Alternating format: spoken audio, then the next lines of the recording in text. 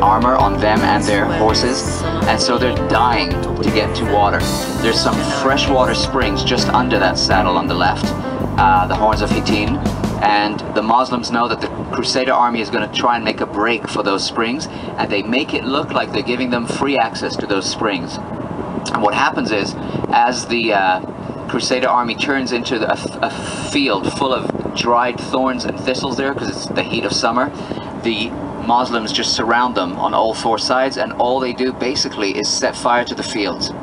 And the fire spreads very quickly, and we see it to this day in Israel. Every summer we have these quick, wild fires, and basically they just cut down or cook the uh, Crusader army in their armor.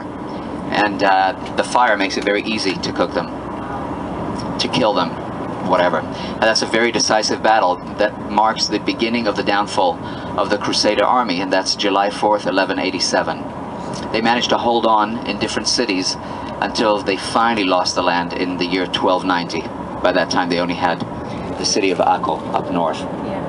In just a few seconds, we'll come. Uh, the road will start curving to the left, and you'll get your first glimpse of the Sea of Galilee, and it'll be off the road to the left. And there it is in front of us. It's a hefty walk from that sort of thing.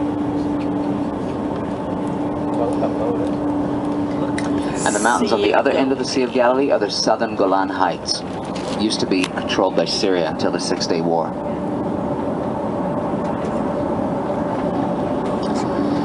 Look at this. Israel in spring. All you see is fields and orchards. It's just amazing. It's so pretty. Here it is. Him the Bible? Been there, done that. Been there, done that. Show the number of groups just diminishes after those first weeks of January. The what? The number of groups. Uh, from June and on, there's less, and July and August is less. The Sea of Galilee from up here. She's recording. Well, good. Well, that's what happened. So she's recording actual events. Uh, yeah.